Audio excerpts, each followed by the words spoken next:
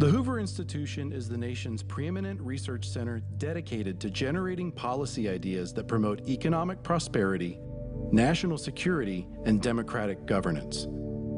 Hoover research has directly led to policies that have produced greater opportunity and freedom in the United States and the world. How has Hoover achieved this distinction? By assembling an extraordinary fellowship of policy-oriented academics and scholarly practitioners. By offering open access to a world-renowned library and archives.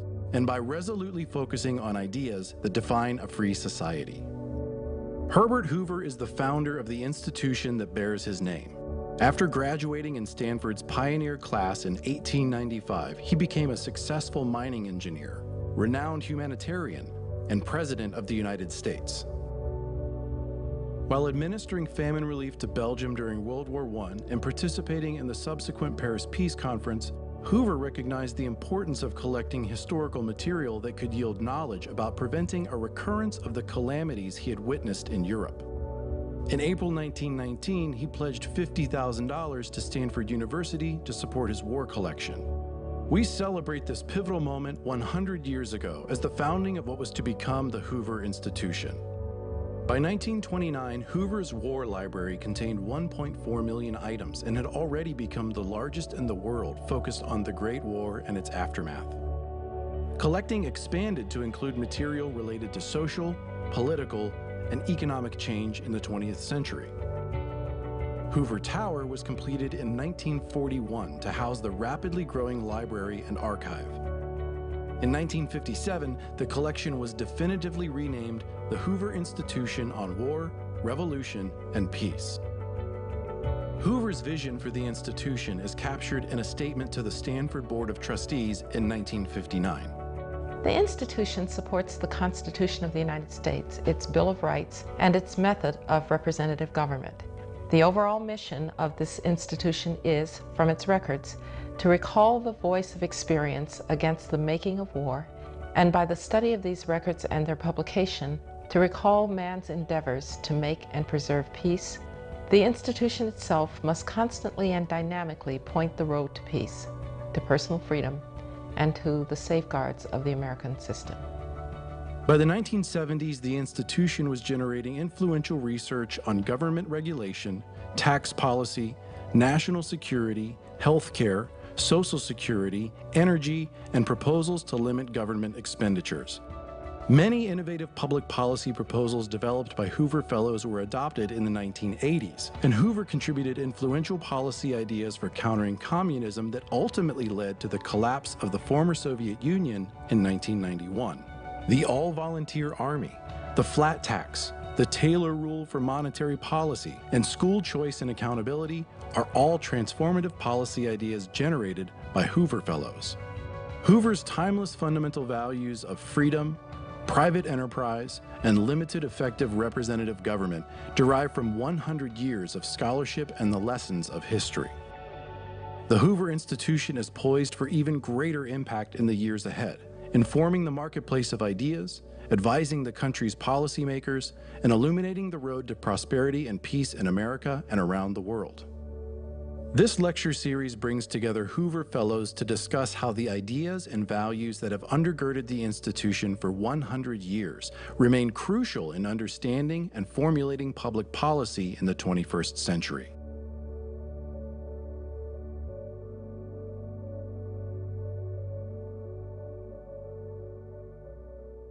I'm delighted to be participating in this speaker series celebrating 100 years of the Hoover Institution.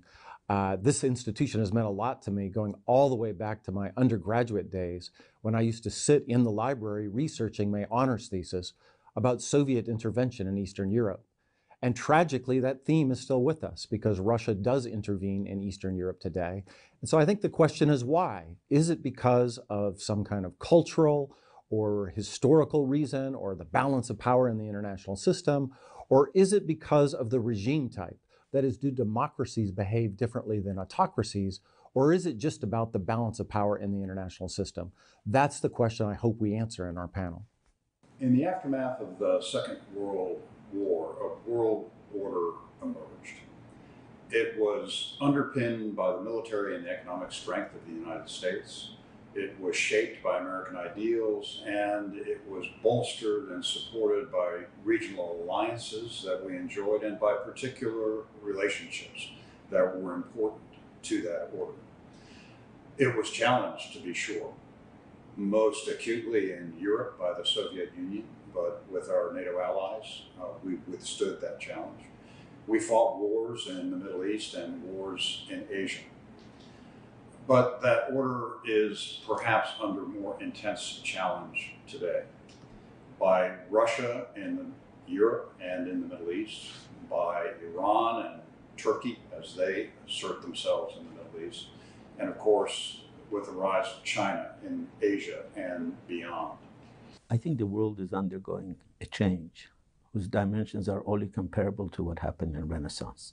The very idea of knowledge, how knowledge is disseminated, who has access to knowledge, the rise of secularism, the rise of the scientific revolution, the printing press changed the world beyond anyone's imagination. We live in a similar moment. And the Middle East is, in a sense, the cauldron of all of these changes. Every aspect of what I told you about, the changes that are being brought about, are happening in the Middle East. Migration patterns are changing. There are millions of Muslims living in the West. There is a new form of Islamic radicalism that is rising, that is very good in using internet, uh, and how that will impact both the region in terms of their ability to fight asymmetric wars and their ability to influence the Muslims in the Middle East, the Muslims in the West, and how that influence will uh, impact liberal democracy is, I think, one of the most serious, profound moments, almost epochal in our history.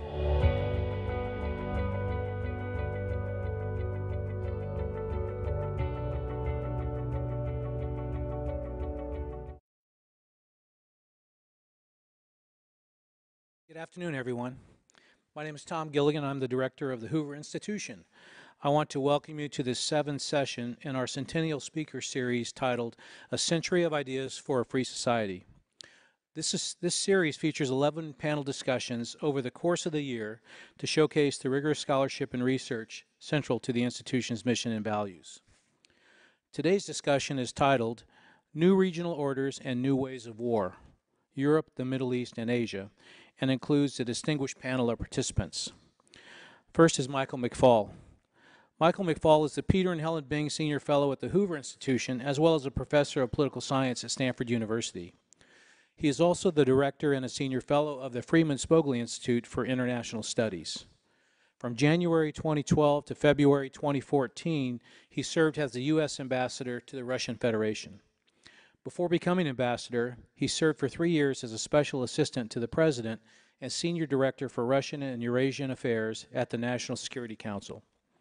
His most recent book was a New York Times bestseller published in 2018 titled From Cold War to Hot Peace An American Ambassador in Putin's Russia.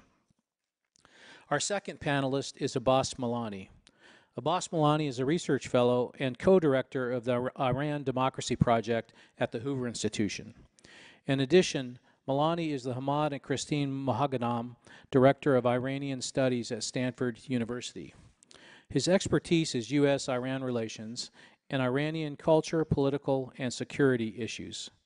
His most recent book is titled A Window into Modern Iran, the Ardeshir Zahedi Papers at the Hoover Institution Library and Archives, which will be released next week. Our final panelist is Admiral Gary Roughead. Admiral Roughead is the Robert and Marion Oster Distinguished Military Fellow at the Hoover Institution. Admiral Roughead graduated from the U.S. Naval Academy in 1973. In September of 2007, he became the 29th Chief of Naval Operations after holding six operational commands. He is one of only two officers in the United States Navy's history to have commanded both the Atlantic and Pacific fleets. And today's moderator is Admiral Cecil Haney. Admiral Haney completed 38 years of distinguished service in the United States Navy before retiring in 2017. A career submariner, he headed the U.S. Strategic Command, which is responsible for strategic capabilities involving nuclear weapons, missile defense, space, and cyberspace. He also commanded the U.S. fleet responsible for operations in the Pacific and Indian Oceans. Please join me in welcoming this esteemed group to the stage.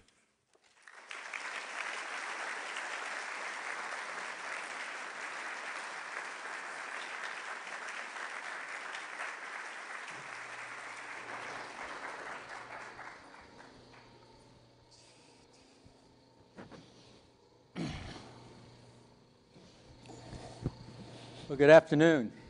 And it's a pleasure to be here at the Hoover Institute and to be part of the celebration of 100 years of just distinguished, remarkable contributions in the world of, of policy, not just for the United States, but I would say for the world in general. Um, and what a marvelous campus, so I'm always happy when I get invited here and share the stage with these heavyweights, brainiacs, when it comes to the subject we're going to talk about today. As we look at the world today, it may be at a pivotal point as we think about uh, what's going on in so many different areas. And we look at where we were 100 years ago, what we learned, particularly as we went World War I, World War II, Depression, Cold War, and then to think about what challenges that face us uh, here today. So as we dig into these countries, Russia, China, Iran, and we look at what is the disruptive behavior that they are producing that will be impacting the, the global norms that were established some time ago, some seven decades ago. Uh, so as we go through this, uh, hopefully we will also be priming the pump for your questions uh, as we have the conversation up here uh, that will follow. And I hope we're going to get the extreme from the youngest to the oldest in this uh, auditorium in providing us uh, thoughtful questions. So I'd like to do this so that we start off sort of setting the stage, setting uh, what the world looks like in these two, these three regions. Uh, and what are they doing today that we see that's so disruptive uh, in this uh, world order? So I'm going to start first with uh, Iran. And Abbas, would you lead us off? Well, I think the whole Middle East, including Iran, is undergoing a profound moment of transition. Uh, if you look at the Middle East, go from Morocco to Afghanistan, the number of failed states or failing states, the number of actors who do not believe in the international order and want to disrupt it, who do not believe in democracy and want to disrupt it, the population patterns, the youth bulge, the remarkable disparity between the very rich and the very, very poor, uh, the increasing number of authoritarian regimes there that have turned the promise of the Arab Spring and the Iranian Democratic Revolution into brutal uh, authoritarian regimes, all uh, provide, I think, a bleak uh, picture. And the number of uh, radical Islamic groups supported by uh, Iran or Saudi Arabia, the number of radical ideas that are propagated by these two countries uh, with the expenditure of great uh, fortunes, uh, is a very, very tense moment, I think. And the fact that oil is on the decline and that the, these countries, the ones that are not abjectly poor, have to look for alternative sources of wealth uh, puts them in a very, very challenging moment. Very good. Thank you. Uh, Michael, given your close relationship with uh, Russia and Mr. Putin, perhaps. Close relationship with Putin? We're not exactly Facebook friends. Um, although, given what goes on on Facebook, maybe we are, right? Uh, well, first of all, I just want to say, I, I, said a little bit of in the video, but I really want to underscore what an honor it is for me to be here celebrating Hoover at 100 years. Uh, as a young kid from Montana, uh, I, I stumbled into the archives uh, when I was 18 years old. Uh, it helped to spark an interest in history. I later wrote my honors thesis about Soviet interventions in Hungary, 1956, Czechoslovakia, 1968, and why they did not intervene, Timothy Garton Ash, because uh, I was reading you back then, uh, in Poland. And, and I just want to say it is really important for, for people to study history And the only way you can study history is to have places like the Hoover Institution that gathers that information. And uh, I have been a, a, beneficiary of it for four decades now, and I just uh, I want to say thank you, Hoover, and what a privilege it is to, to, celebrate this place. I also happen to believe in ideas of a free society, uh, so that makes it easy for me to also be here. And I'm, I'm, also, I think this moment in our history, especially talking about China, Iran, and Russia, presents new challenges to those ideas of, of a free society. And I think this is a great panel to, to discuss that. Uh, baseline, that's what you wanted first, right? So where are we at in terms of Russia and relation with the West? I deliberately uh, called my last book, available on Amazon for you right now, um, uh, From Cold War to Hot Peace, because I wanted to echo the Cold War, but I don't think we're actually in a new Cold War with Russia. And so that was the purpose of that title. And, and let me just give you a few kind of data points about why I think that's where we're at today. And then I think we need to explain why, and then maybe later in the conversation we'll talk about what is to be done. Uh, so, good news, bad news. The good news is that we are not in a quantitative nuclear arms race with Russia today. We're going in the right direction. We're going down. We should go down further. I see Secretary Shultz is here, and I know he agrees with me. Uh, 1,550 nuclear weapons on each side is still enough to blow up the planet. We should get that number lower. But it's nowhere near where it was uh, when both of these gentlemen were fighting the Soviets and planning, trying to prevent fights with the Soviets when we were at 30, 40, 50,000 uh, nuclear weapons. That's the good news. The bad news from the, uh, the, the hot peace that we're in today is we are now entering, I think, a qualitative arms race that is scary to me. And I hope Admiral Haney will jump in on this later in the conversation because the Russians have some new platforms to launch missiles in qualitatively different ways than they did during the Cold War. One of them is called the Poseidon. Uh, it's a, it, again, I, I, feel a little bit awkward with two admirals surrounding me talking about the Poseidon. Uh, they know a lot more about this weapon than I do, but uh, it's a weapon that can go through the, the ocean, uh, explode a nuclear weapon, and then flood people that live near bays. Flood us. Guess where we live? Uh, that's new, that's different. We didn't have a weapon like that in the Cold War. So better or worse off, you tell me. Second, good news. The ideological struggle between communism and capitalism or communism and democracy is over. They may be still arguing up there at Berkeley, I think, you know, but uh, you know, I don't know. But I think it's over. It's over. That's the good news. We won that ideological struggle. The bad news is that there is a new ideological struggle. Most of you probably are not really focused on it, but Vladimir Putin, my Facebook friend, uh, thinks that he's fighting an ideological struggle against the West, against liberalism, against the very ideas that this institution stands for. For many years, he was playing defense, and now he's gone on the offense to, to promote his brand of nativism, nationalism, anti-multilateralism, So the very things you were talking about in your interview, Admiral, are the very things he hates. And he wants to break up the West. He wants to break up NATO, the European Union. And, and he is now adding real resources to fight that ideological struggle. And I think we're behind on that. So good news or bad news, you tell me. Third one, third, and I'll stop on this in terms of where we're at.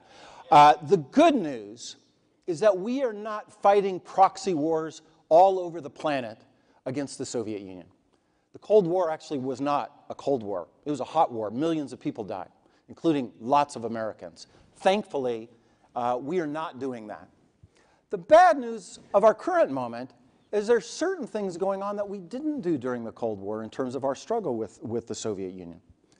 Annexation. We thought that was over after World War II. We fought a war in part to stop annexation in Europe. Now it's back when Putin went in and annexed uh, Crimea. That's disturbing. That's something we didn't see in the Cold War. Sanctions. We today, the United States of America, have more people from Russia on our sanctions list than in any time, if you added up every Soviet during the entire Cold War, we have more today than we did in the entire Cold War history. And by the way, the Russians have more Americans on their sanctions list than at any time during the Cold War. I know, I'm on that list. I can't travel to Russia today. That's new, that's different. And the last piece, better or worse off, you tell me, is yes, there was disinformation campaigns during the Cold War on both sides. Uh, we would call ours information campaigns, of course. Um, But never did we have the level of intervention in our domestic affairs as we did in 2016 by Moscow. That's new. So these are new, these are new ways that we're fighting this hot peace. You tell me if we're better or worse off in terms of the, of the Cold War. Uh, and maybe I'll leave for explanation for the next round. But that, I think, is where we're at. And I think it's deeply troubling. And I think we're going to be here for a long, long time. Thank you. Gary.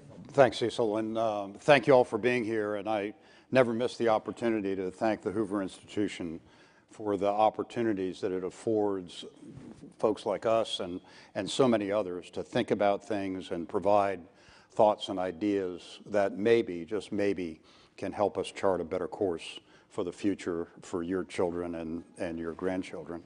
And I never miss the opportunity to thank Bob and Marion Oster for their generosity in making it possible for me to continue to be part of the Hoover Institution.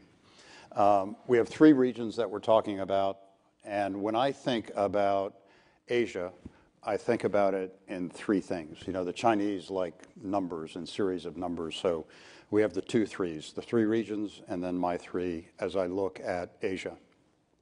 When I came into the Navy, we talked about the Western Pacific. Then we talked about the Asia Pacific. Now we're talking about the Indo-Pacific. And I would submit that what we really need to think about is Eurasia and how it's changing. And what are the three things that I think come into play? I refer to it as the empires of the past are stirring again.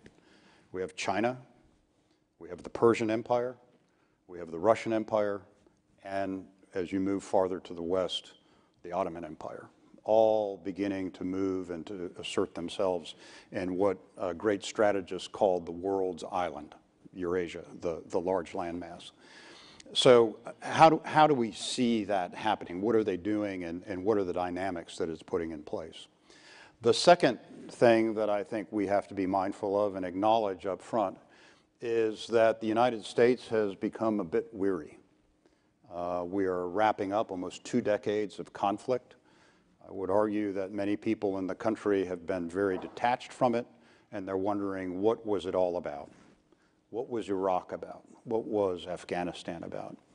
And, and I think that we're beginning to retreat into what for most of our nation's history has been a period of isolation and that the, the great oceans of the world will buffer us against bad things. And then the third thing that's in play in Eurasia is, as, as Mike and others have talked about, it's technology. Uh, technology has always influenced events. It has always influenced warfare. But the pace with which it's happening today is really quite dizzying. And, you know, Cecil and I have spent our lives playing with technology, but I would tell you, I've not seen it move this fast. And central to all of this is the emergence of China that sees itself coming on and reasserting itself and reestablishing itself in its rightful place in Eurasia. And uh, China is quite strategic. Uh, they have a much longer view than we do.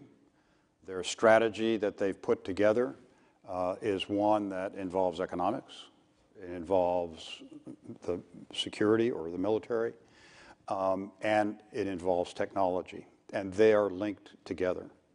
But something different about China this time, I think, as it reasserts itself, is for the first time in a long time, it is a maritime power. Now, we can look at our Navy and we can say that we are the, the world's premier global Navy, and that is absolutely true. No one can hold a candle to it. But China has become a maritime power. Uh, it has the world's largest fishing fleet. It has the world's largest commercial fleet. Uh, it is it just surpassed uh, Korea as the largest builder of commercial uh, vessels, and it has displaced Europe as the main source of financing for ships around the world. Through its Belt and Road, it has put in a series of ports since about 2000. Uh, it either built or controls 42 ports in 34 nations. Uh, that means that it has a logistics footprint that's global. It has uh, an opportunity through that footprint, perhaps to make things a little more challenging for us as we try to respond and support allies and partners in various places around the world. Um, it also um, has created, and, and you've looked at the East China Sea, the South China Sea, it has, as it's moved forward in that regard, it's created an inland sea that has put a buffer around the East Asian littoral.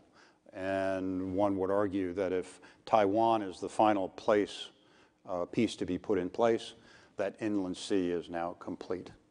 Um, and it's doing it largely because when it goes back to the beginning of its uh, century of humiliation, that's where um, the humiliation began. It came from the sea. On technology, the investments that they're making are quite significant. Artificial intelligence, about $150 billion by 2030. Uh, cyber cities that are, uh, they're investing about $15 billion. But most importantly, they have made it a concerted effort to invest in human capital. Uh, when you look at the number of computer scientists, electrical engineers, China has now surpassed the United States in, in uh, high-level degrees in that. And so I think that the, the, the combination of, a, of an economic strategy, building a military that is the largest in Asia today and in Eurasia today, and then investing very deeply in technology, and we'll talk about that later, has really knitted it together in a very, very complete way. China's not without headwinds. You read about it in the paper all the time. Their economy is slowing. They have a middle income trap.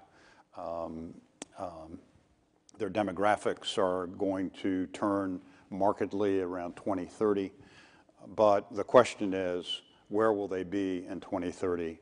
And who will control Eurasia, I think is the great question for us to answer. And I think another backdrop, you talked a lot about technology here, is as we look at these uh, three areas, three regions, each has a different approach toward technology. Each has a different appetite for technology. And if you will, um, um, I, I, correct me if I'm wrong, Gary, but for China, it's from under the sea all the way to geosynchronous orbit in a very sophisticated way. Uh, ver very interesting in, in how they have really moved forward in a lot of areas. Uh, we'll start perhaps back with you. For a while there, the U.S. strategy was associated with moving forward with a third offset. We were talking about it boldly. Are we uh, trending in the right direction relative to China with the third offset, or is China ahead in, in some of those um, areas? I think you kind of hit the nail on the head when you said that for a while we were talking a lot about the third offset. Talking is the operative word, I might add. Um, and, and, and how are you moving those technologies forward? Do you have the intellectual capital? And particularly when you get into the um, national security space, uh, you know, Stanford and Georgia Tech and, and, and many other institutions can say we produce the best computer scientists in the world, and that is a fact. But once you start getting into national security, one has to ask the question, how many of those individuals can be brought into the national security establishment, get a security clearance, which means they're United States citizens. And when you look at the numbers, it's absolutely stunningly bad. 21% um, of computer science graduates uh, a couple of years ago were U.S. citizens. Electrical engineers, 19% U.S. citizens. And I would argue that we have a lot more young people going into those disciplines. However, our elementary and secondary schools are not providing the foundations upon which they can build to succeed and graduate uh, in, in those disciplines. So I think that we have to get very, very serious about where the investment's going um, and not simply talk about the fact that we have this third offset strategy. Uh, for those who may be linked to it in some way, I've often said that uh, there's a lot of sizzle and no steak. Thank you. Um, Michael, perhaps you can talk a little bit about how you see Russia using or having a trend to invest in technology in order to carry out uh, their uh, activities that impact this global order? Uh, sure, actually, I highly recommend a paper and book that George Shultz edited when we talked about all this about Russia about a year ago, I think now, George, where we wrestled with technology and demography. I mean, both those issues that you talked about in talking about uh, Russia and Europe. Um, the, the short answer is they have wasted a lot of their uh, capacity in terms of human capital. Uh, they do produce a lot of mathematicians, a lot of PhDs in physics. And at a certain point, maybe 20 years ago, but especially 15 years ago, and under President Medvedev, uh, who was an interim president between Putin's second and third term, uh, a younger guy than, um, uh, in fact, he spoke here at Stanford, now that I remember, in 2010. Uh, they recognized what you were just talking about, and they uh, made a pivot to try to uh, move government money in, and research and development into technological fields. Uh, they, they started something called Skolkovo. Uh, they tried to model it after the Silicon Valley. Uh, and everybody in the Silicon Valley, by the way, laughed at them. They said, oh, you can't, government has nothing to do with the Silicon Valley. You're going to waste all this money. It's just entrepreneurs that matter, right? Uh, and well, it turns out the history of the Silicon Valley is a little more complicated than that, and that uh, government money played an instrumental role in, in uh, creating the permissive conditions to develop what we have here, including, by the way, Stanford University. Uh, so I thought that was a pretty smart idea, uh, and Medvedev decided that we eventually will lose the 21st century if all we can do is pump oil and gas out of the ground and take eggs out of fish. Uh, he joked about that once, I believe. Uh, you know, we got to make something uh, in, in, in the digital world. And I would say when uh, President Putin came back, uh, he did two things. One, he diverted the best and the brightest and the research into military fields that, that you, you gentlemen know uh, better than I do. Uh, and that has, had, that has achieved some things. I mean, I think they have made some real uh, technological advances uh, in the military.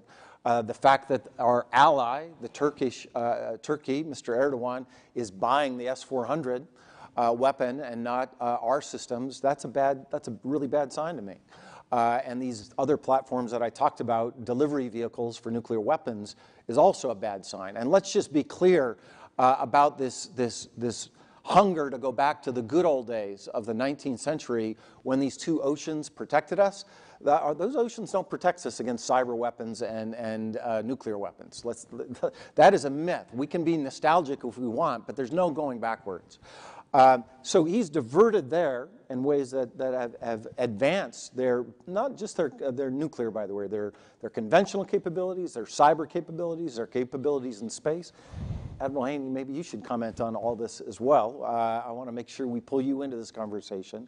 But at the expense, I would say, of this civilian side, and I think that is a, was a huge mistake. Um, uh, by the way, it's estimated that we have somewhere between uh, 50 and 60,000 Russians in the valley uh, who have come here uh, precisely because there were not the opportunities to realize their potential there. Uh, that's great for America, uh, but that's pretty bad for Russia.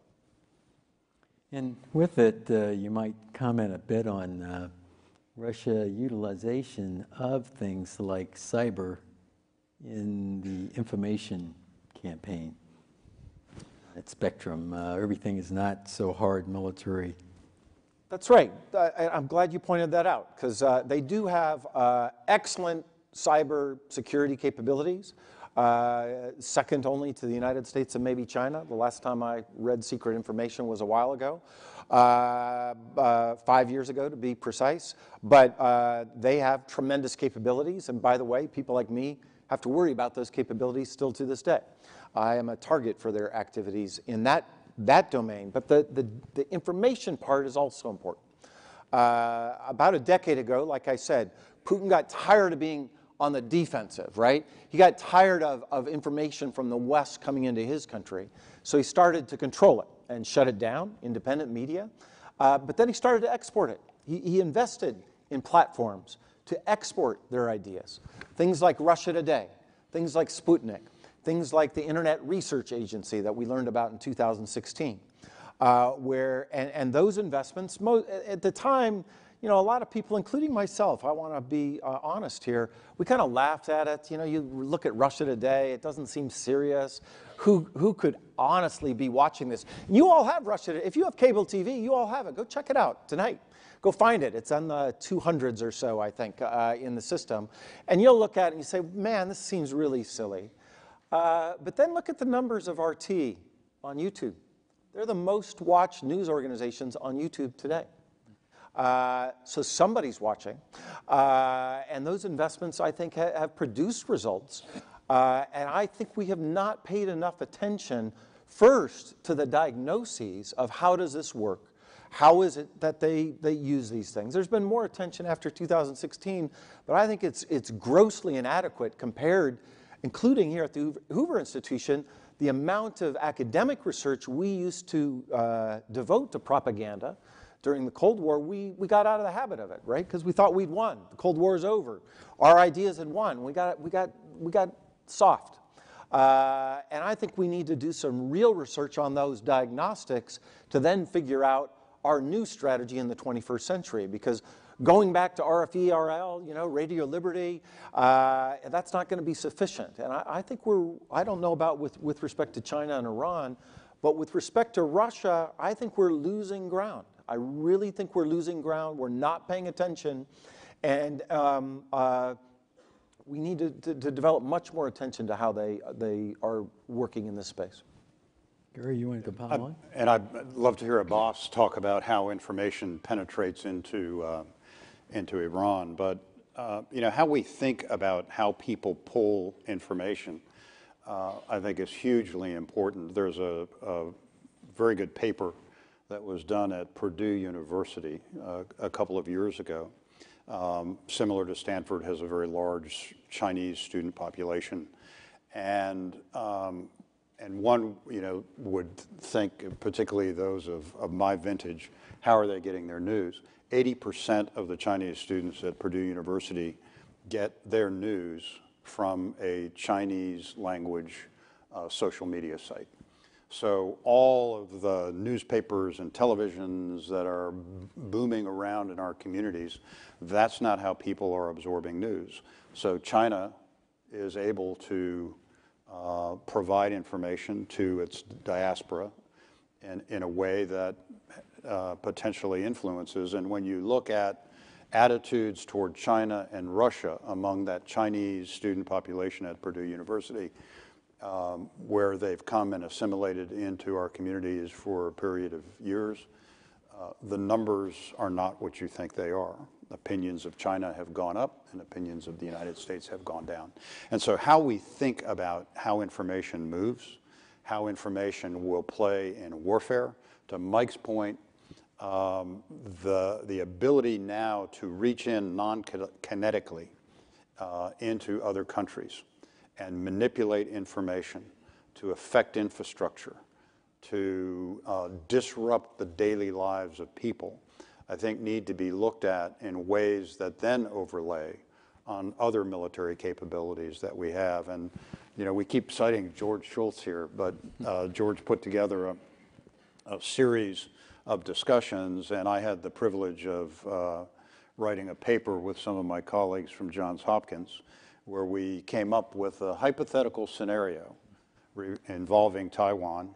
We stopped it before any uh, shots were fired. But the technologies that we described in there just indicate how we have to think differently about these new ways of war. Thank you. Um, Abbas, uh, perhaps you can shed some light uh, on Iran uh, and, and technology, both in soft power and, and uh, other hardware from I think Iran brings uh, together many of the, the, themes that was being discussed. in terms of uh, China and Russia and their influence in the Persian Gulf, I think China and Russia are now in a position they have never been before. Iran is about to have a joint naval operation with China and Russia. Iran is renting a naval base in Bushehr, where Iran's nuclear uh, program is based, to Russia. Iran has just signed a long-term uh, mutual defense agreement with Russia, only a small parts of which have been made public. uh, Iran has agreed to uh, a $400 billion, ostensibly, investment of China in Iran.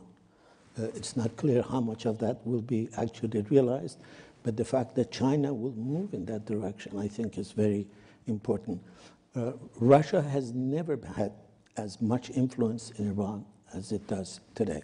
Its influence ideological, its influence political, its influence uh, military, its alliance with, Russia, with uh, Iran in, uh, in, the Middle East, its alliance with Iran uh, Syria, uh, have been absolutely unprecedented. And I think if this continues, if uh, we are in a Cold War with Russia, if the world is on a collision course of some sorts with China, how China and Russia position themselves in the Persian Gulf, how they position themselves Iran, in Iran is going to be of a very important, profound impact. And very few people are paying enough attention to this. I think there is a brotherhood of authoritarianism, and they are all brothers. There are not too many sisters in these authoritarian regimes. Uh, there is a brotherhood of authoritarianism. Uh, Mike has been talking about this, uh, Larry Diamond has been talking about this, this depression of democracy, this deficit of democracy. The Iranian regime is clearly trying to align itself with this authoritarian uh, brotherhood. And in terms of technology, Iran is a very paradoxical country in the sense that Iran, although it is 85 million, is the top 10 countries, one of the top 10 countries, seventh or eighth, in terms of the total number of people who are studying uh, science, uh, math, technology. Iran's university, at least a couple of them, are very well respected around the world. They're recruited. Sharif University is recruited at Stanford, at, at MIT. Iran is one of the most sophisticated hackers. Iran is one of the most controlled social media, but it's also one of the most active social media. In China, 7% of the Chinese use circumvention tools to get news from sources outside China. In Iran, it is close to 80%. Uh, Facebook is illegal in Iran. There are 50 million users. And every Iranian leader also has a Facebook site. Uh, and Twitter account. And Twitter account. it, it is truly, uh, but the regime uh, completely understands the capabilities of this social media and social control. And they do it not just for espionage purposes, and they're very good at that. They're constantly trying to hack Stanford Iranian studies. They're, trying, they're threatening directly all the people who are against the regime, uh, and they sometimes do succeed. But they employ openly, they don't hide it. They employ at least 12,000 cyber jihadists. These are people whose sole purpose is to engage in social media, to attack the critics of the regime, to propagate its ideology. The regime uses very sophisticated technology, uh, very uh, most recent uh, technological abilities to monitor the social the, the people. They bought several years ago $600 million of technology from Siemens Nokia that allows them to pinpoint every telephone, every conversation, and listen. So while the society is uh, very engaged, uh, the regime, essentially because of its ideological intransigence, because of its sclerosis, has become uh, inhospitable for people who understand technology. Iran has the biggest uh, brain drain. Iran has been the number one brain drain country in the last four, five years. So in technology, I think it's very paradoxical. People are trying to use it, Iranian women are trying to use it, social media is trying to use it to promote democratic values, to promote entrepreneurship. The regime is trying to use it for social control, for monitoring, for espionage, and for what they call cyber jihad. Could I just add one thing about Russia, because it might be interesting to think about in comparative perspective, in terms of their strategy with respect to information and technology. It is not like it was during the Cold War, when Pravda and their, their various platforms would propagate, that was the verb you used, an alternative to our system, right? And they would try to win that argument. Uh, sometimes within our society, but most times in other countries. It, and it was an ideological struggle between the, what they were propagating and, and our system. That's not the strategy for Putin these days, the Russian strategy. They're not trying to win the argument. They're trying to say there are no arguments, there are no facts. That's what their disinformation campaign is about. Uh, it's all whataboutism. It's all, there, there's no facts. And if there's no facts, then, then everybody's as guilty as the other person. So that's one piece of it. And the second is polarization. Uh, they are trying to exacerbate existing uh, uh polarization in societies, including our own. So, so they're not, they didn't start polarization, right? They, they, they're working with something that are inside societies. But they are using the cleavages, the divides, the arguments that we already have in, in Western democracies. And by the way, we're open democracies, so we allow them to, to uh, participate in these debates. And they try to exacerbate uh, those things that are going on already in societies as a way to weaken us, both uh, you know, as a nation state, but also vis-a-vis our uh, democratic alliances in Europe. So remember, that I think is a qualitatively different kind of ideological struggle that we're in, and, and that's why I just underscore we need to understand it better uh, so that we develop the right prescriptions to combat it. Because I do think it is a, it's going to be a fight. Uh, you know, Iran, China, and Russia are all rising, you know, former empires, civilizations that are all in one way or another uh, attacking the ideas that define a free society. We've got to get smarter about how we push back. I think the other thing to consider too, and I don't subscribe to the fact that there's a Russia uh, China alliance. I don't know where you are on that, Mike, but clearly they will look for opportunities um, to uh, be in a more dominant position than perhaps we would be, especially in, in, in Eurasia. Um, and I think that this has translated into a kind of a common view where you fuse uh, civil and military technology together. In China, it's, it's an advocated right from President Xi on down that there will be civil military fusion when it comes to technology. But uh, China and Russia have now begun to draw closer together. My, my view in dealing with the Russian military a few years ago was that that they were very distrustful of China. That said, um, you know, they've just announced a, uh, a, a, desire to go to, back to the moon together. Uh, and so I think you're going to begin to see the, the interplay of technology that Russia may be more dominant in and that China is more dominant in, bringing that together and making that an option for other countries to use. Because when I look at the Belt and Road, I always caution people to not just look at the brick and mortar and the piers and the bad loans that everybody keeps talking about, but look at how technology will be imported into those areas where uh, the, the Belt and Road centers and activities have become concentrated, and then that then becomes a source where China's um, uh, uh, telecommunications systems, social media systems, e-commerce systems can take root and thrive, and in doing so, win the economic uh, war in these important regions around the world. And I think these gentlemen would agree with me, uh, associated with the advances in artificial intelligence, 5G, uh, even in two of the countries, uh, hypersonic uh, missiles, et cetera. And that list of technology developments and work, outer space, each of these countries have moved dramatically. Iran, missile developments, and what have you. Uh, before we leave the setting here, Michael talked a lot about Russia and their nuclear capabilities, some of the new novel approaches, the Poseidon piece. Recently, we heard about a, uh, a cruise missile approach that sort of flamed out or at least uh, had an explosion associated with it.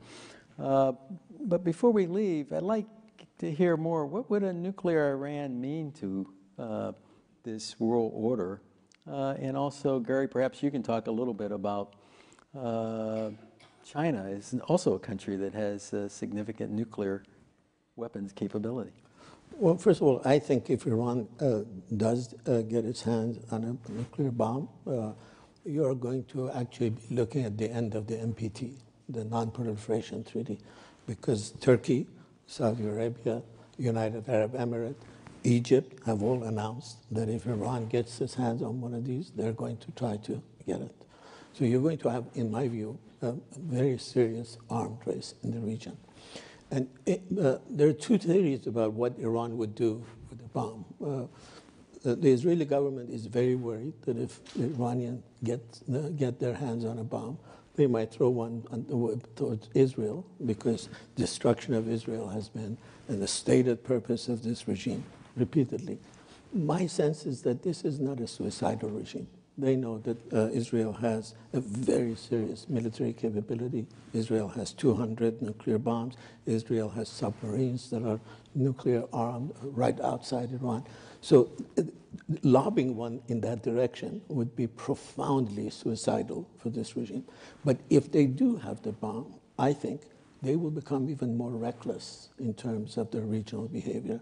If they think they have impunity, if they, if they think that they have a, a kind of a, a veto that they think North Korea has gotten. North Korea is teaching them a lot of bad lessons. You can read this in their uh, Iranian sites that the reason the Trump administration walks so gingerly uh, with North Korea and does not deal in the same way with Iran is because North Korea has the bomb. And they openly say that we made, that the regime made a tactical error not going for the bomb earlier and then engaging in these negotiations. So my sense is that if they do get it, you'll have an even more perilous regi uh, region, uh, and you will have a regime that feels much more emboldened. They already feel a great deal uh, empowered. The attack on Saudi uh, oil facilities that I cannot imagine could have been done without the absolute approval of the Iranian regime.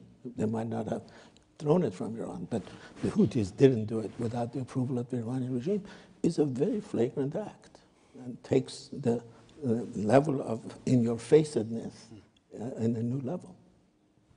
Thanks.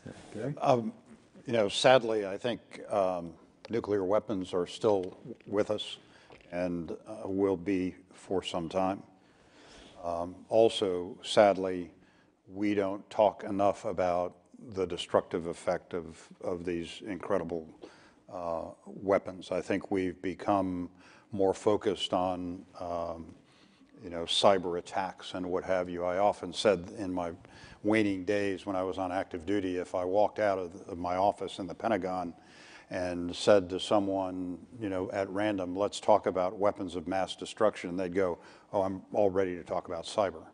Um, they're not the same. Nuclear weapons are, are in a class unto themselves. Um, China has essentially followed our template and the Russian uh, template as well. It has developed a triad different than what it was like in the Cold War. Um, my sense is that China will not be pursuing large numbers of weapons. Uh, I think their view is if I can take out LA, you know, what's the trade-off? Uh, and not go for the large numbers, but smaller. But they will have a capable nuclear arsenal, and with the advent, most recently, of a sea-based nuclear deterrent, uh, they'll have a survivable leg that provides a second strike capability. And with that uh, sort of last question in the nuclear arena, uh, Michael, it seems like we're in a uh, trajectory where we're losing ground on treaties in that regard. Uh, had a good conversation yesterday with George Shultz, uh, in this uh, regard. would you give your views of where we are, where we seem to be going, and is that also going to be impacting this world order going forward? Well, I think the trajectory is in the, uh, in the wrong direction, without question. Uh, we learned during the Cold War that we could have fundamental disagreements with the Soviets and ideological disagreements uh, and still do arms control. and by the way, not check our values at the door when we engage with them. I think there's this misunderstanding of, of what happened during the Cold War. Uh, just because you sign a, an agreement doesn't mean you sign up to uh, you know, some that you're going to be Facebook friends, not to go back to Facebook friends. Uh, despite all of my radical disagreements with President Putin and his autocratic regime, and I want to come back to society, by the way. we've been talking about Russia, China, and Iran like they're three people you might meet in a bar. Uh, there's very complex societies be below these regimes, and, and I think they give me hope for the long term. So we'll come back to that in a minute. But, but uh, we developed that communication. We signed arms control agreements. Uh, by the way, we learned things from those agreements that were good for stability. Uh, you know, the verification uh, uh, regimes that, that came with those treaties were very important for just everybody knowing what the other side was doing. So um, uh, President Reagan used to say, trust but verify, right? That was his phrase. When I was in the US government, I said, don't trust, only verify. uh, and, and, and, and if we do not have the treaties in place to do that, we will not have the capability to do that. So I think it was a huge mistake to pull out of the INF Treaty. Uh, with all due respect to the arguments about how we needed this in order to fight China, I'm not convinced. Uh, I think that was a huge mistake. Uh, and we need to avoid an even bigger mistake by allowing the New START Treaty to lapse. I think that just, there's just no sense to that. As I said before, we can blow up the planet with 1,500 nuclear weapons. And by the way, Russia can still blow us up with 1,500 nuclear weapons that they have, 1,550 to be exact, if you're counting. Uh, um, deterrence works. We need to keep that in place. But we do not want to be in a regime and in a world where we do not have treaties, where we do not have verification regimes. I think that, that is a very dangerous world. Adding to what Abbas said about the NPT, uh, that is not a world that I want to live in. Let's preserve what we learned during the Cold War to help us manage this next phase. So I'd like to shift our rudder a little bit here and now dig a bit into, so what should we do about it?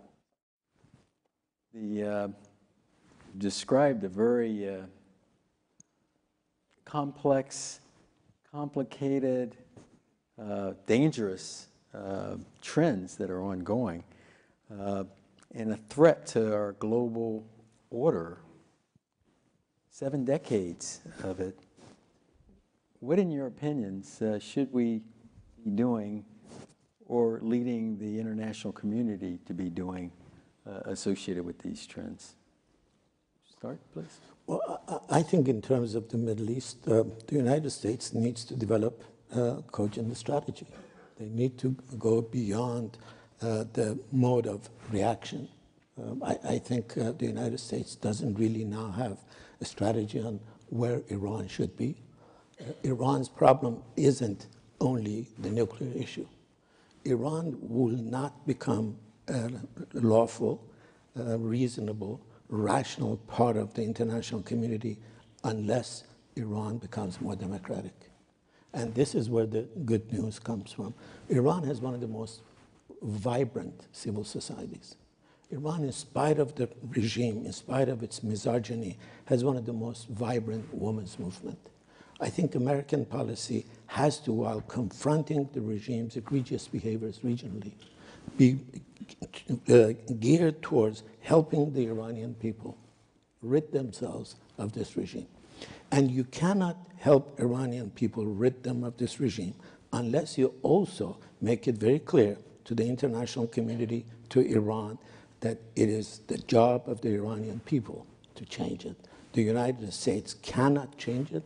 The United States should not change it. The United States tried to help change a regime in Iran in 1953. This role is highly exaggerated. Its stigma is still there.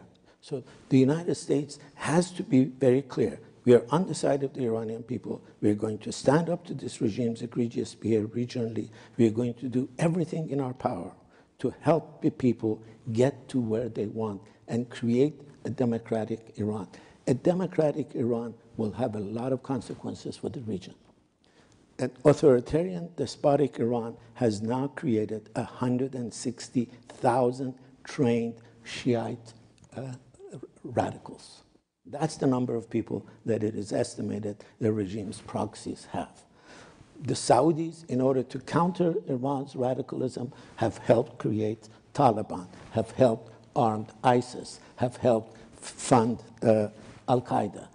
That has created a cauldron. The United States has to say to both of these countries, not just to Iran, to both of these countries, enough is enough.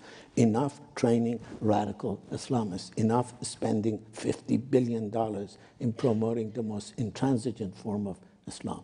Islam can be a force that lives peacefully, but the form of Islam that is in Iran right now, the form of Islam that is being most actively propagated by Saudi Arabia, can only get the region in more trouble and could only become uh, incendiary for sectarian war that will engulf everybody and will send millions, millions more to Europe. There are now 50 million Muslims living in Europe, a fact unprecedented in 1300 years of history. There were always, always more Jews and Christians living in the Muslim world than there were Muslims in the Christian world. There are now 50 million and counting. Increased sectarian war will increase the mass migration. And how many more uh, Hungary, how many more Le Pens you will have in Europe after this move begins is anybody's guess. Well, thank you. And I think uh, one takeaway, too, from this discussion, though, thus far, although we call it new regional orders, the word regional is a bit of a disclaimer. In each of these cases, I think you see more global impacts associated with what's going on within a region. And in the cases of some of these countries, their global reach has been, uh, in fact, all of them through cyber uh, versus just regional. So thank you for that. Uh, Michael? So you've asked a hard question. We only have 28 minutes left. I need I need 80 minutes to answer your question. But uh, let me just say a couple and of. You can't have the whole 28. Well, I'm not planning to take it. No, I'm just kidding. Uh, let me just say a couple of things. Um, first, we've got to start with us. Uh, we need to get our own house in order. We need to be have a sense that this is a common mission: American national security and American prosperity. And if we continue to fight over ourselves, uh, between ourselves, we will lose the struggle against the three countries we're talking about. I firmly believe that. And I want to remind people when, when, when if, if God forbid there was ever a nuclear weapon from any of these three countries that would land in Palo Alto, it's not going to discriminate between Democrats and Republicans, okay? We, this, uh, it's called American national security for a reason. And this piece just, uh, it just breaks my heart that we don't think of ourselves as a nation vis-a-vis -vis these places. We're so focused on fighting with each other. Number two, getting our own house in order. We've talked a lot about technology. You know when we peaked in terms of spending on research and development? 1964. That was a long time ago. What was happening in 1964? Well, that's when we were united against a common enemy. And we knew we were together. I, I don't remember that. I was only one years old, uh, but I've read about it. We thought we had a common enemy, and we embraced and we paid our taxes to invest in research and development that helped places like Stanford and, and, the, and the militaries that you guys came from to win the Cold War. We need a similar commitment to research and development, the things you were talking about in terms of our school system. If we are going to compete against China and Russia and Iran in the 21st century, we got to have a stronger game at home if we're going to compete. And we're not having that conversation right now. Nobody's talking about research and development. Well, not, that's not true. Some are. It is not the focus that it needs. Third, we have to lead. I'm sorry, but we cannot withdraw. Superpowers, as my friend Bob Kagan said, don't get to retire. Uh, and and, and the, the, the fallacy of that argument is that if we just pull back and withdraw and let other people lead. We're going to lead from behind, right? Remember that phrase from the Obama administration? That means there'll be no leadership because into that vacuum will be a vacuum. Even the Chinese, I, have been spending a lot of time in China lately. I, I think it'd be, you know, this notion that they're going to take over the world, I don't see that. I think there'll be anarchy. I think there'll be a void of leadership. And so I think uh, whether we like it or not, if it's not us, there will not be another leader of the free world. That means respecting and doubling down on alliances, and that means respecting and doubling down on ideas of a free society. That doesn't say a free American society. Uh, these, are not, these are not American values, these are universal values. And that is the fourth thing then. Remember that there is an ideological component to it in dealing with all three of these countries. And at this time, I think, uh, you know, in this time of retrenchment, as Abbas said, we're in a, a period of retrenchment. We got to preserve what we have. To me, countries like Tunisia and Ukraine are vital to American national security today. And you may say, well, why do I care about Tunisia and Ukraine? I don't even know where they're at. Well, those are two countries that in very difficult neighborhoods are fighting for ideas of a free society. We should be doubling down and engaging with them so that if they succeed, our free world will be expanded and succeed. Um, and then finally, with respect to autocratic challengers, Iran, China, and Russia, uh, I do think there's some lessons from the Cold War, and I think it is a mix of containment and engagement. Uh, with respect to Russia, I think it's three quarters containment, deterrence, but one quarter engagement, as we did during the Cold War.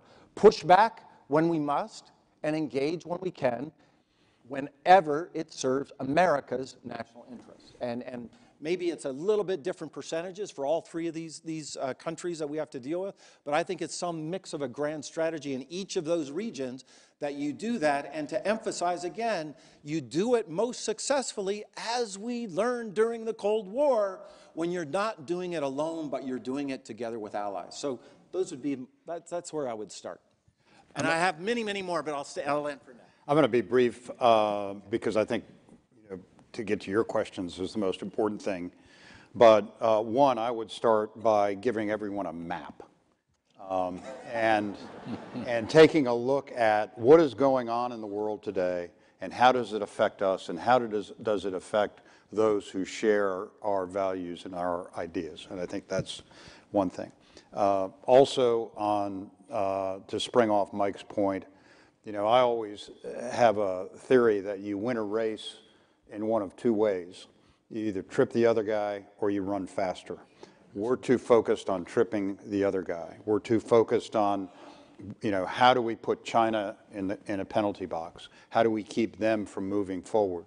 Our focus should be on how do we move forward? How do we um, regenerate the, the initiative and the innovation that was so much a part of those peak years? Um, you know, when I, this past summer, I know all of us of a certain age look back nostalgically on the landing on the moon. Um, that was not easy, but it represented a coming together of American industry, academia, and government in a way that we achieved something that hasn't happened since. And so I think that has to be rekindled. And in order to do that, uh, sorry for circling back around on education. It is so important, and you know, we all talk about STEM, and, and I'm a firm believer that we have to educate for the new technological future. But um, an educated public also has to understand uh, where it came from. It has to understand its history, its peaks and its valleys, and it also has to have a firm understanding of this incredible, incredible experiment that a bunch of bright young folks created on this soil a couple centuries ago. And so if we can do all that, we're going to be in great shape. all right. If we can now, I'd like to shift to questions from the audience here. Mike's out here positioned strategically. Uh, don't be bashful. And remember my premise I want gray hairs and I want young hairs. Sir. Thank you. Thank you very much for a very intelligent and thoughtful presentation today. And I wish I could ask the question from the young side, but I'll try to form it from the other side. And I look back over the last 70 years and marvel at how well we did in America, how many problems we took, how many solutions we came up with, how concerted we were in getting together as a nation and making things happen. Now, not to make this political, if I can possibly do this, in the last 11 years, we have fragmented in a way that I don't know how we're ever going to be able to bring this country back together and be able to solve the problems of global warming and artificial intelligence and the nations that are breaking apart and all of the things that we face. What in heaven's name do we do to solve the problems of America as a totality, not as two disparate groups? Any comments? Uh, So I'd say two things. First, because uh, uh, I really like what you said about history, and I think it's important to study our own history and remember that we did experience different times of doubt. Uh, you know, 1949, 1950, that was not a great time for ideas of a free society.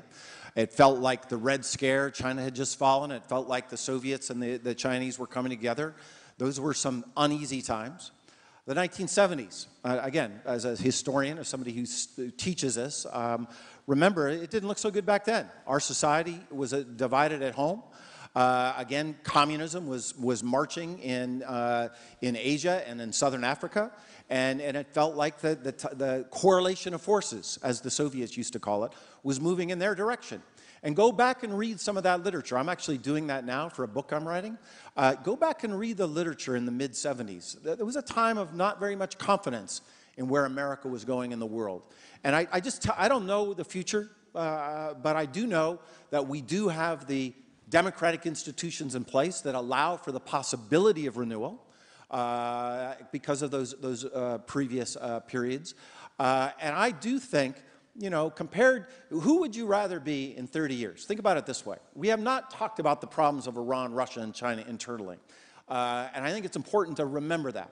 Uh, that there's a lot of drama coming in all three of these countries. Uh, China today, yeah, they're about to uh, match us in terms of, of, of, of, the economy, but GDP per capita, they're, just, they're still 78th in the world. 78th. The top 20 are all liberal democracies. Uh, there's a lot of drama between a middle income country and a high income country. Iran, I'll, I'll leave it to uh, Abbas to talk about it. Russia, uh, who would you rather be uh, in those three countries uh, over the next 30 years or America? I would much rather have our political institutions, our economic institutions, because I know we have the possibility for renewal. I'm not, I do not have that same confidence about those other three countries. Oh, and by the way, maybe having more confidence in our ideas might help us vis-a-vis -vis our challenges with the three countries we're talking about. Uh, let me say uh, a couple of words. I, uh, when Mike wasn't born in 64, I came to the United States as a 15-year-old uh, Iranian. At that time, in half of the uh, restaurants in this country, someone with the color of skin of Obama could not enter. Johnson, in his memoir, says, I, I cannot believe that half of these countries, the son of my driver can't get into a restaurant. And then the country elects Obama as a president. This is a country of remarkable resilience. This is a country that can fix a lot of problems. Look at the plight of women from where they were to where they are. There are many problems, and this is, in my view, one of the most challenging moments that this country has faced. But if there is one country that can face it, there are one people who can face it, it is the resilience and essentially the good nature of this, these people. I'll, I'll be completely shameless. You can continue to uh, support Hoover programs um, where you can have ideas uh, kicked around. But in, in all seriousness, I think that um, um, we should take every opportunity to reflect on, you know, as, as Mike and Abbas said, on the journey where we've been. It has not been easy, it has not been pretty, uh, but I think that we have to reflect on that. I also believe that we have to rekindle in the United States uh, a desire and a value system for young people to engage in public service uh, and to be able to participate to bring forward solutions in ways that they then can influence future generations. Easily said, but I really do think that it's important that in any venue where we can talk about those who go into the arena to try to work on public policy, who uh, try to move this ball forward, uh, that they should be applauded and, uh, and acknowledged for their good work. And the last piece I will also throw in has been sort of uh, resonated here is education. Um, a lot of times today we focus a lot, and we need to, on STEM education. But I would also say we have to keep world history as another principal foundation that we have to improve in our education system. Sir. You must have been reading my mind, seriously. Uh, I, am not completely gray, gray like that gentleman, but I got a little bit around the edges, so I'm kind of in the middle. But anyway, I grew up in Chicago from a, with a blue-collar family. My parents sacrificed to send us to Catholic schools. And I worked my way through high school and college and got scholarships to go to the University of Illinois. The public school education system and the Department of Education was established back in the 70s. And look at all the billions of dollars that have gone to Washington and the public education system hasn't gotten any better. It's a monopoly, and that's the problem. As you know with monopolies, innovation gets stifled. The private and Catholic and parochial schools in this country are basically the incubators of education. Decentralize education from Washington, put it back in control of local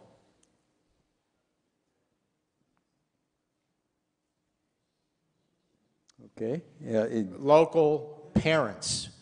My parents belong to the PTA Society at the local Catholic school in Chicago where I got my primary education and also Catholic school in the high schools.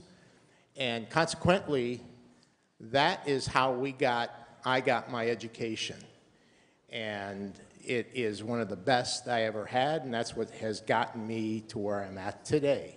And my point is decentralize education out of Washington, put it back in local control with the parents where it belongs, because education is a local issue, not a federal issue, and abolish the Department of Education, take those dollars, put them back into the state and the communities where they belong, and you're going to improve the educational system in this country because if you take a look at education since the Department of Education was established, it hasn't gotten any better. It's gotten worse.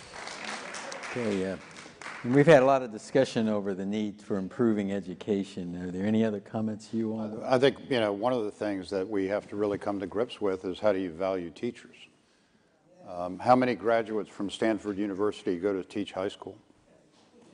Um, and, and until we do that, um, when you have, a, you know, a young person that wants to teach the next generation um, that is just barely making it financially, I think that we're not going to dig ourselves out of this rut.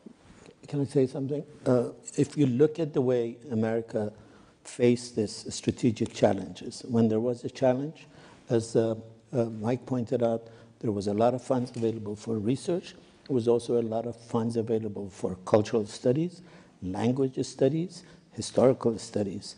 I think Mike uh, had a scholarship to study Russian language. I think from the U.S. government, by the way. The U.S. government. Me and Condi Rice. Condi Rice, exactly. Uh, the Middle East has been a central challenge for the United States for the last 40 years. The amount of funds available to teach, to have classes, to teach language, to teach Persian, to teach Arabic, to teach Kurdish has diminished. The US government closed its language school in the State Department for, for teaching Persian. They were so angry at Iranians for taking hostages. That, the kind of a language, the kind of expertise that Mike had, that Condi Rice had, is missing. When they brought a team from Iran to the White House to negotiate during the Reagan administration, there wasn't a single official of the US government that could translate. They had to bring in a businessman, an Iranian businessman to translate, who went on to make a lot of money as a middleman in the deals that we made. we need hundreds of people studying Arabic, studying Kurdish, studying Turkish, studying Persian, uh, studying their religion. If there are centers for the study of these programs in the American academia, they have almost all been created by the private domain. Stanford University is the prime example of them. Islamic studies and Iranian studies, both uh, created, endowed by members of the diaspora, the uh, Islamic diaspora, Pakistani diaspora, and Iranian American diaspora. It is uh, also interesting, you know, in my travels as a naval officer, how many countries where I would find uh, my correspondent uh, individual, my peer in any other nation, would know multiple languages uh, fluently, not just uh, partially. And I thought about when I grew up in Washington, D.C. public schools, we had to learn uh, another language. French was mine, uh, going through secondary education. But when I got to my kids going through school, my last one, it was, we parents had to fight to allow that kid to get Spanish. Uh, totally different value system. So it gets back to value system and how we infuse education uh, around what needs to be done if we're going to be a great nation. Can I just say one quick thing? Uh, there's a lot of great expertise at Hoover on this question. I, this panel does not represent that. Uh, no, don't disrespect, uh, gentlemen. Uh, and uh, there's probably a lecture series in this series on education. You already did it. So look at the video, because I think there are a lot of great ideas that have been generated here. My own parochial view, you, you where the gentlemen go, you, you talked about your going to private schools in Chicago. Uh, I, I, I I grew up in Montana. I went to a public school, and I could not have come to Stanford University without the federal government. I was a work study kid with Pell Grant money. I was on federal government money until finally a private scholarship gave me some money to go to school. It was called the Rhodes Scholarship, and I went to Oxford. Uh, I just think it's a whole government thing. I, I, I, think the idea that the private sector is going to solve it is not right, and I also think the idea that the, the, the Washington's going to solve it is not right. It needs to be a whole of society issue, especially to subsidize the things that otherwise might not happen. I want to correct the record. The government did not pay me to learn Russian. The government paid me when I was doing my master's degree at Stanford to learn Polish. Yes. And you, yeah, you're laughing. Why the hell would you learn Polish? Because back then, we were fighting in the Cold War, the government not the private sector. I also want to emphasize that.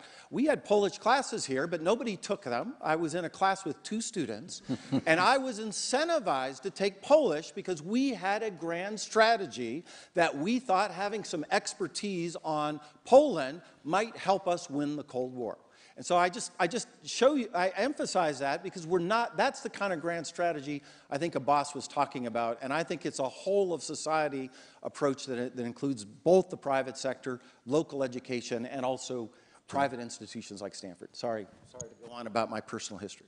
Very good. I won't ask you your age, but uh, thanks for joining us at the mic. Would you address or just touch on the impact of climate change in these regional relationships? Yeah. Question? Um, it's huge.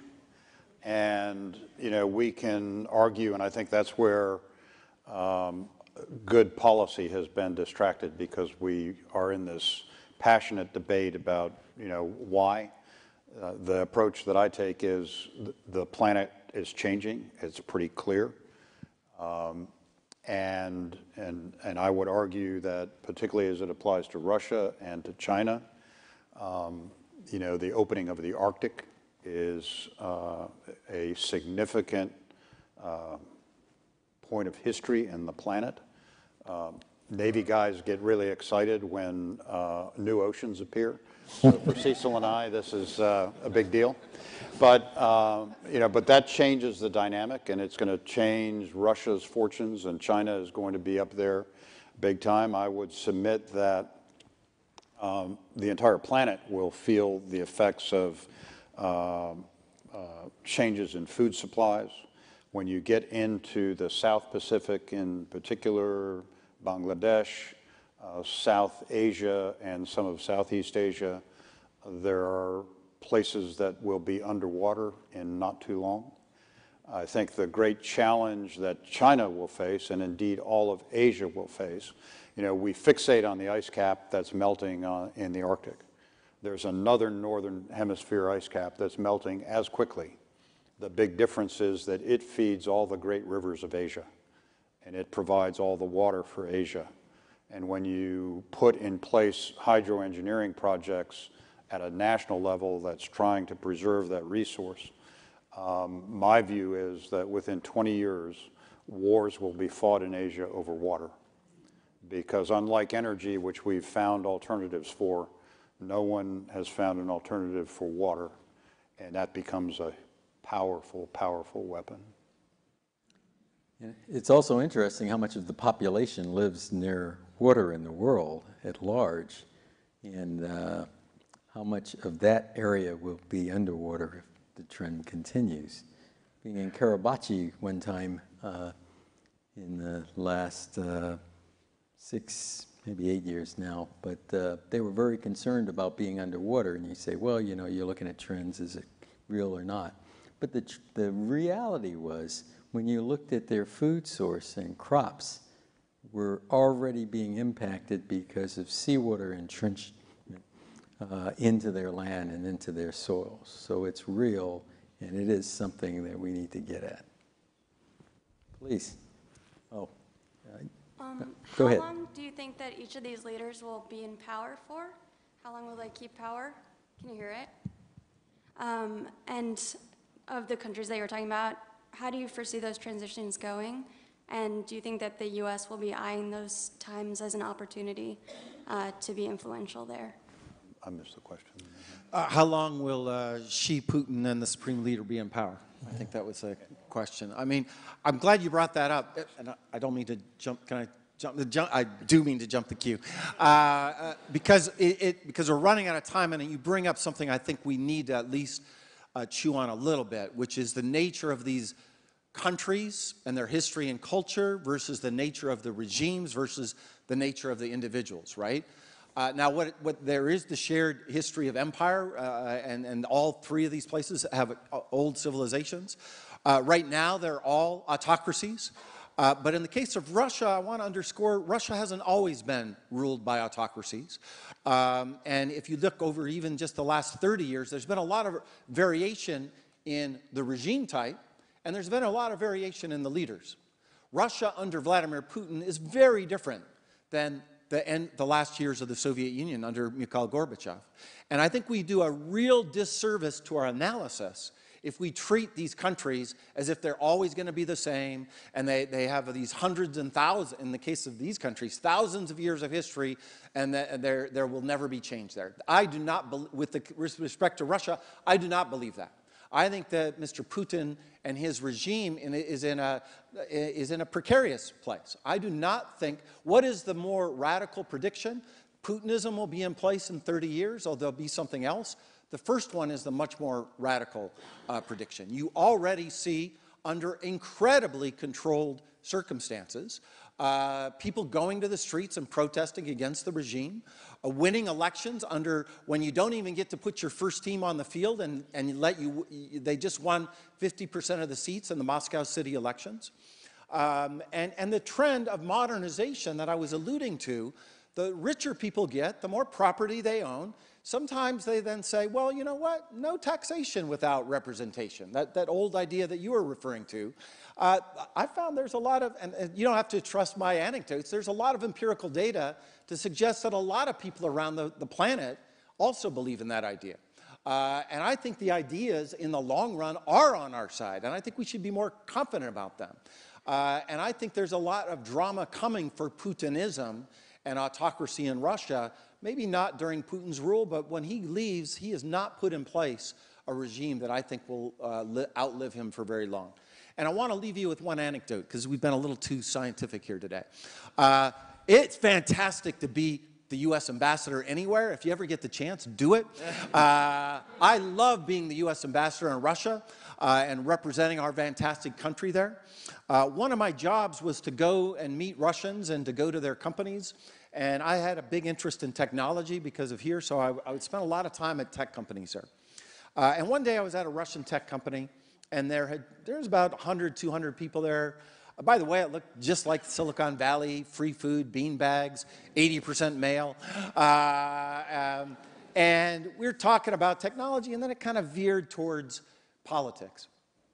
And I asked everybody, there had been a big demonstration, May 2012. I asked the room, how many of you participated in that demonstration? Almost every hand in the room went up. And about 10 minutes later, uh, there was another demonstration coming up. And I asked, well, how many plan to go to that? Only three hands went up. That's because in the first demonstration I was just talking about, the regime cracked down and arrested people. And some of those people, by the way, are still in jail today. And then the conversation moved on to HI and machine learning or something like that, HAI, uh, artificial intelligence or machine learning. And at the end, and it reminded me because a woman closer to your age than mine, sitting in the back, she raised her hand again and she said, Mr. Ambassador, I think you misread the room when three hands went up. I didn't raise my hand, she said. I'm an engineer. I have two kids. This is all in Russian. She said something to the effect of, you know, my no good for nothing husband, he can't take care of my two kids if I'm in jail. I have to work for a living. I can't afford to be arrested at the next demonstration. But don't think for a minute that I've changed my mind about this regime. And I think that's really important to remember when you hear about how popular Putin is or how unpopular other autocratic leaders are. That, that, that, that she has ideas about a free society and she hasn't changed her mind uh, despite the fact that she can't get arrested today. And I always remember that interaction about the long term. In the long term, I am radically optimistic about Russia and US Russian relations because I think in the long term, ideas of a free society are really powerful and they're going to win uh, in the long term.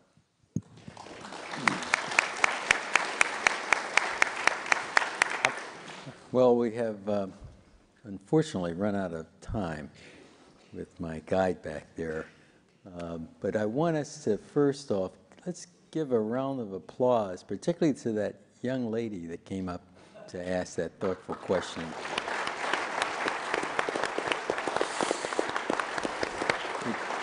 It can sometimes be intimidating giving all the gray hair folks like ourselves uh, to do that. So keep that questioning spirit.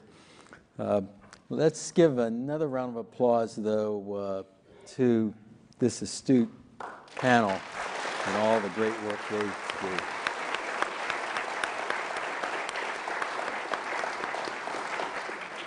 And the discussion and conversation doesn't have to stop uh, in that. I, we're going to conclude here, but I wanted to invite you all into the outer area here for refreshments and continued conversation.